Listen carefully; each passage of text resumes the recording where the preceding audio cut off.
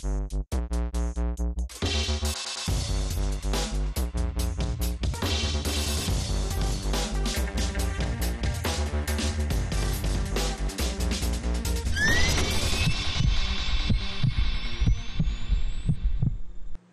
Здравейте в неделното утро. Започва предаването за здраве и медицина Пулс. Аз съм Гергана Добрева.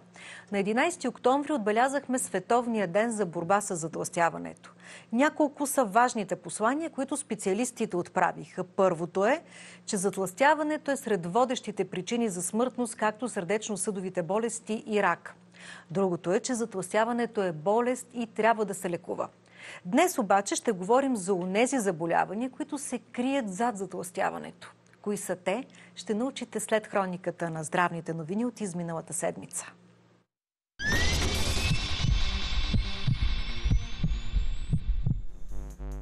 Сестрите ще трябва да почакат поне до януари следващата година, за да получат увеличение на заплатите си. Това стана ясно след 4-часова среща на протестиращите медицински сестри с здравния министр Кирил Ананиев, придружена с блокиране на движението в центъра на София за кратко и опит за барикадиране в здравното министерство. Ананиев пак им даде обещания и обяви пореден срок за изпълнението им.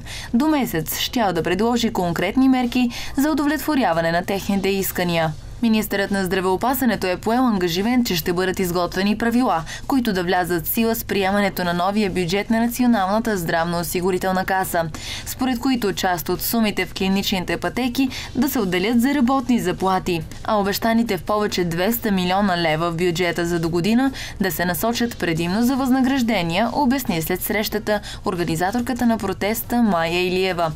След тежкия ден от Здравното министерство излязоха с позиция, че по голяма част от въпросите е постигнато сближаване на позициите. В този смисъл, цитирам, продължава работата по финансовите параметри в сектор здравеопазване за 2020 година, подписването на новия национален рамков договор по задължителното въвеждане на методиката за формиране на разходите за персонал в болниците, по медицинските стандарти и по други теми, обсъдени в хода на срещата, уточниха от ведомството. Болниците вече ще трябва да плащат на националните консултанти, когато ги потърсят за помощ. Това предвиждат промени в наредба на Министерството на здравеопазването. За да подобри мотивацията им за безотказно и своевременно оказване на консултативна медицинска помощ при спешни и тежки състояния в лечебните заведения, Здравното министерство предлага промяна в заплащането, като им осигурява процент от клиничната пътека, по която извършват консултацията. Така най-добрите лекари ще взимат 30% от цената на клиничната пътека, ако са участвали в операция, и 15% от пътеката, ако само са дали експертното си мнение за лечението. Според Министерството на здравеопазването по този начин ще се гарантира на болниците, че когато имат спешна нужда от тези експерти, те ще се отзовават и няма да отказват помощ. На територията на страната средно на година се правят по 400 такива консултации, така че това нямало да натежи на бюджетите на болниците смятат от ведомството. Припомняме, от тази година има нови правила и националните консултанти вече са по няколко доктори във всяка специалност. Предвижда се наредбата да влезе в сила от 1 януари 2020 година. Надзорният съвет на здравната каса е одобрил списък с нови изделия, които ще бъдат включени към медицинските, прилагани в условията на извънболничната и болничната медицинска помощ, за които фонда ще заплаща след провеждане на процедура. Необходимите средства ще дойдат от бюджета на касата, коригиран с процента увеличение на приходната част. Въвежда се реимбурсация на кардиовертер, дефибрилаторите, тъй като по данни на Дружеството по електрофизиология и кардиостимулация, около 300 пациенти на година умират от внезапна сърдечна смърт. По думите на шефа на касата, доктор Дечо Дечев, общо за трите подгрупи медицински изделия, стоиността, която здравната каса покрива от 6000 лева се променя на 8500 лева. И така пациентите няма да доплащат. Друго изделие, добавено в групата за реимбурсация, е саморазгъваща се биологична аортна протеза за изцяло безшевно позициониране, изработена от телешки перикард. Касата ще покрива и кислородотерапията. За да се ускори прилагането обаче, се очаква Дружеството на пулмолозите да изработи критерии и начини за прилагането й. Правителството включи в списъка за наркотиците вещество, което се съдържа в течности за електронните цигари. Това стана след като Министерски съвет прие промяна на наредбата за реда за класифициране на растенията и веществата като наркотични. Става въпрос за вещество, което се поставя под контрола чрез включването му в списък 1 – растения и вещества с висока степен на риск за общественото здраве поради вредния ефект от злоупотребата с тях, забранени за приложение в хуманната и ветеринарната медицина. medicină. То от групата на синтетичните канабиноиди и се поставя под контрол по предложение на Военно-медицинска академия, възоснова на становище на експертния съвет към Националния съвет по наркотичните вещества. Във Военно-медицинска академия е установен клиничен случай с пациент, хоспитализиран по спешност след употреба на цигара, съдържаща синтетичното вещество. По химическа структура и то може да се разглежда като аналог на друго вещество, предизвикало смъртен случай. Целта е да се предотврати трафикът и разпространението му у нас и да се ограничи рискът от злоупотреба с него. Синтетичните канабиноиди са дизайнерски препарати, които се пръскат, вдишват или пушат, а от 2-3 години се откриват и в течна форма. На пазара могат да се намерят ароматизанти или билкови смеси за пушене. Медиите във Великобритания и Съединените Американски щати съобщиха, че от началото на годината са хоспитализирани десетки хора след пушене на електронни цигари с никотинова течност. Затова в Америка и в някои страни в Европейския съюз това вещество вече е поставено под контрол и обявено за наркотик.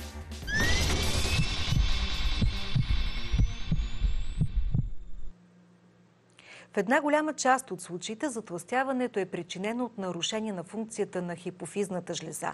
Кои са заболяванията, които се крият зад затластяването и защо навременната диагностика е важна, ще разберем от моя гост. Доктор Асен Хаджиянев, неврохирург от болница Свети Иван Рилски. Добро утро, докторе. Добро утро.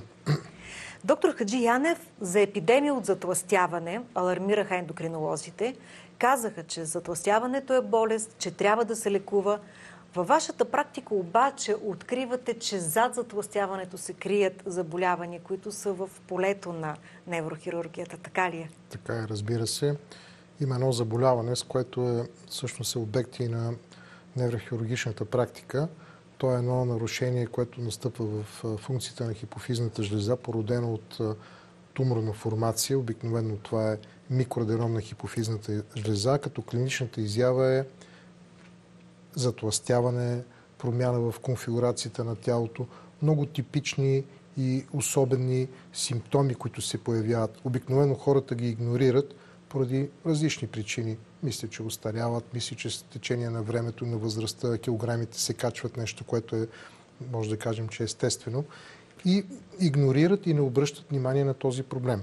Когато заболяването се разгърне изцяло, появи се захарния диабет, появи се високото кръвно налягане, хипертонията, появят се остеопорозата и други проблеми сериозни, чак тогава вече започва да се мисли и в тази посока. Но, за съжаление, е загубено време, в което диагнозата може да бъде поставена и да бъде лечението по-навременно. Да, диагностиката на време поставена е с много по-добър изход, Абсолютно. казват специалистите. Доктор Хаджиянев, болестта на Къшинг, колко често срещана е тя и що за заболяване е това? Болестта на Къшинг по принцип е рядко срещана. Спада към редките болести, но е доста неприятна, защото... Но и симптома там е точно затластяване, нали така? Да, елемент от клиничната изява е промяната в телесната маса. Образуват се така наречените така наречената фация слоната. Лицето се закръгля, бузите се зачервяват, корема изпъква, появяват се стрии, които съпровождат едно обикновено затластяване. Но тук вече ролята на профилактиката на добрия а, общо практикуващ лекар на ендокринолога е да постави и диференцира това заболяване от естественото затластяване. Така че това заболяване е рядко, но доста коварно. Друг проблем също е синдрома на Къшинг, който засяга надбъбречната жлеза, тогава също може да имате подобна изява. Да имате промяна в конфигурацията на тялото, затластяване. Това са две много така сериозни заболявания, които са предизвикателство и за хората, които ги лекуват. Доктор, по пол, по възраст, как се представя тази болест? Повече е засегнат женския пол. Това е в интерес на истината. По-рядко страдат мъжете. Така че в това отношение жените са по, в по-неприятната ситуация. Казахте, че е много важно да се постави диагнозата, да се разграничи, а, да се разграничат нещата. Как обаче се случва това? Тоест, диагностиката каква е? За съжаление, когато се разгъне цялата клинична картина, както казах и преди малко, появи се високото кръвно налягане, появи се захарния дебет, появи се остеопорозата и всичките тези симптоми се свържат и образуват един синдром. Тогава вече диагнозата е почти ясна. Разбира се, за да бъде доуточнена, трябва да се направи задължително образна диагностика, да се направи магнитно-резонансна томография, да се последва хипофизната жаза, да се търси микроаденом. Обикновено тези тумори са с много малки размери, 2-3 мм и са трудно разпознаваеми дори от опитни специалисти. Естествено, тук е основната роля на ендокринолога, който трябва да извърши едно обогатено хормонално есе, т.е. да проследи всички хормони, да види промяната в аденокортикотропния хормон, в нивата на кортизола. Кортизола има сутрешни, вечерни нива. Всичкото това изисква един сериозен анализ от страна на ендокринолозите. И аз съм много горд, че в България, в лицето на клиниката по ендокринология, която се занимава изключително само с хипофизни заболявания, работят много адекватни колеги, много грамотни, много начетени, които поставят диагнозата. И пък от гледна точка на колаборацията ние работиме с тях в като един голям екип, защото лечението на това заболяване е комплексно. Тоест не може да говорим само за хирургично лечение, говорим и за комплексно лечение. Тоест ендокринолозите откриват много преди да се е разгърнала цялата картина в и някои случаи, шанс. За съжаление, в някои случаи не се случва така, тъй като самите пациенти по някакви причини игнорират симптоматиката. Както казахте вие в самото начало, затластяването е сериозен проблем. Алармират, че имаме увеличаване процента на затластелите хора. Дали се дължи на заседнал начин на живот, на лошо хранене, некачествена хранене така нататък. Но по някой път самите пациенти отиват късно или отиват вече, когато заболяването е разгънато да, и проблема е в напредно стадий. не го приемаме като болест, а всъщност се оказва, че е болест. Абсолютно ви подкрепям. Това е сериозен проблем на нашето ежедневие. Доктор Хаджиянев, има ли обаче някакви биохимични маркери преди да се стигне до ендокринолог? Един общо практикуващ лекар може ли по някакъв начин да се ориентира, че за това затластяване стои някакво друго заболяване, което е доста по-сериозно? Ами вижте, а, диагнозата може да, поставена, да бъде поставена и с помощта на пациента. Ако пациента довери, промени ми се телесното тегло, промени ми се външния вид, гледам снимки от преди една година, не изглеждам по този начин, бях с 20 кг по-слаб или по-слаба съответно, започнах да дигам кръвно, появиха ми се стри по корема. Това са много типични а, симптоми, които могат да наведат един лекар в тази посока, да го тласнат да мисли в посока болест на Къшинг или синдром на Къшинг. Ще говорим за едно друго рядко заболяване, кое, при което обаче има оголемяване на номера на обувката, но за него веднага след рекламите.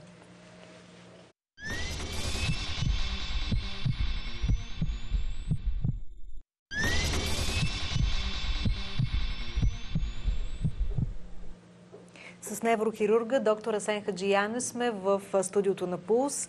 Доктор Хаджиянев, нека сега да кажем за това друго рядко заболяване, при което вие помагате. Акромегалията.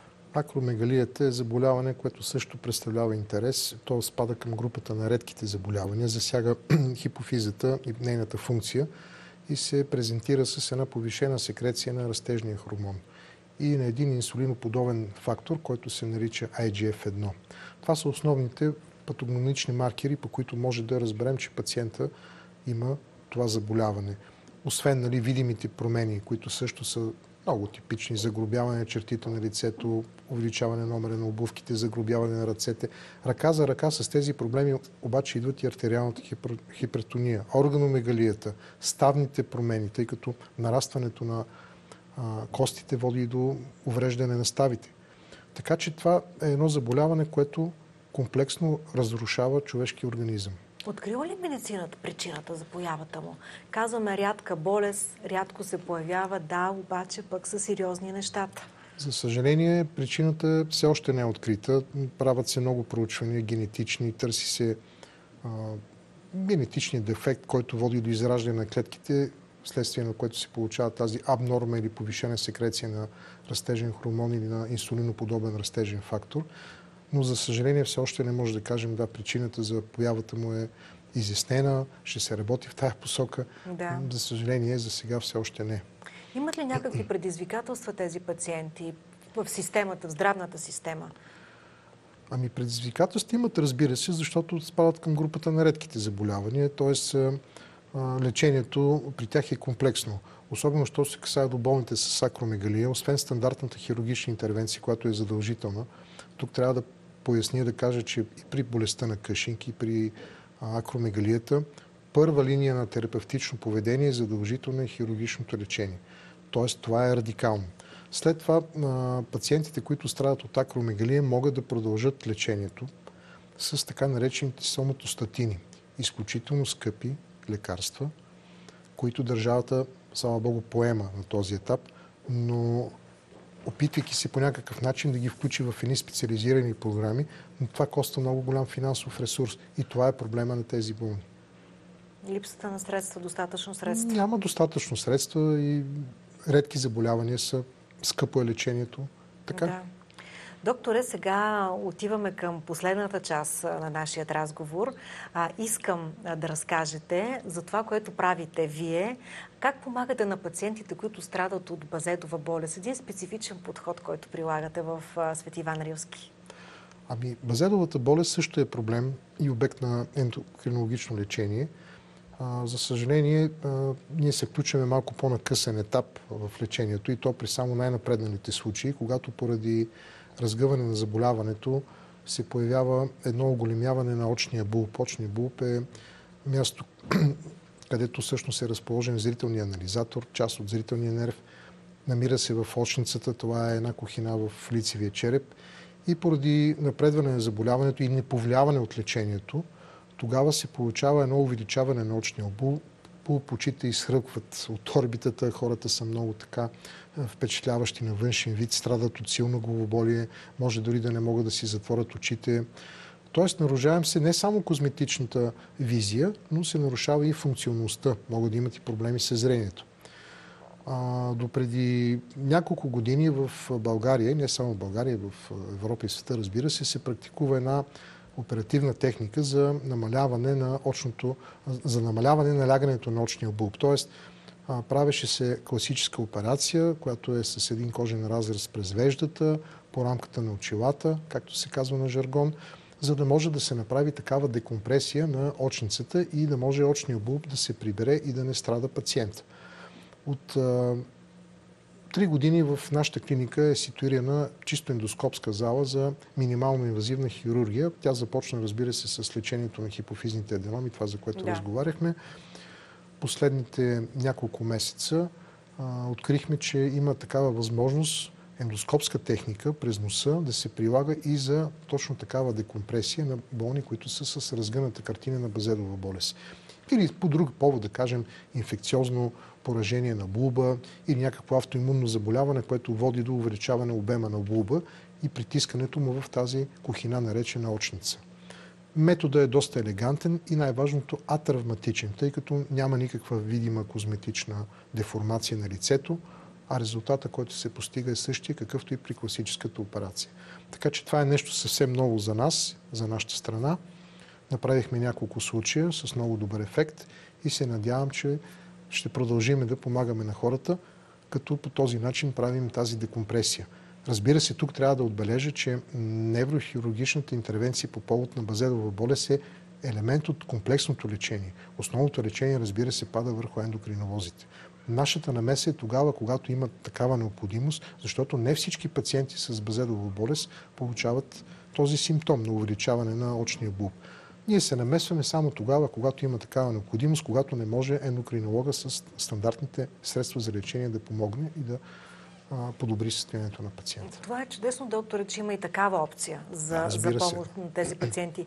А, и на финалът на нашия разговор искам да разбера, а, здравната каса поема ли а, тази, тази вид мини-инвазивна хирургия?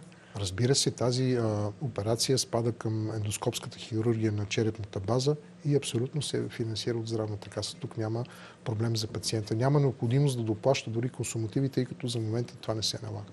Сърдечно ви благодаря за това участие. Желая ви здраве на вас и повече излекувани пациенти. Толкова за днес. Разделяме се с пожелания за здраве и за добро настроение. Останете с програмата на Канал 3.